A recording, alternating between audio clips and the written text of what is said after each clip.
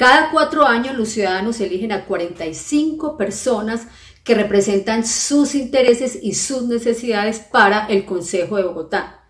Y también allí, desde el Consejo, debemos vigilar que la alcaldía y todas sus dependencias cumplan con su trabajo e inviertan bien los recursos públicos.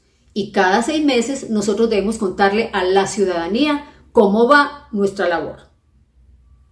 Es muy importante que todos los ciudadanos se enteren y pregunten sobre lo que hacemos los concejales y el Consejo de Bogotá. Por eso este 27 de julio, desde las 9 de la mañana, los esperamos en la rendición de cuentas del primer semestre del 2020. Puede acompañarnos siguiendo www.consejobogotá.gov.co. Los esperamos este 27 de julio.